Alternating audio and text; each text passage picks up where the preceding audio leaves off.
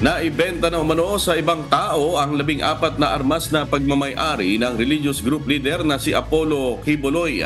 Ayon sa Police Regional Office 11, isinilbi noong nakarang Webes May 2 ng mga otoridad ang revocation ng gun license kay Kibuloy sa loob ng Jose Maria College sa Davao City.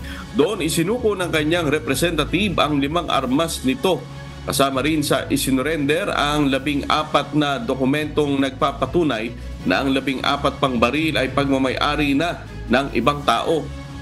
Gayunman, hindi nila maaaring sabihin kung kanino na ito ngayon nakapangalan. Hindi na rin umano ito hahanapin pa dahil ang license for revocation ay nakapangalan lamang kay Kibuloy.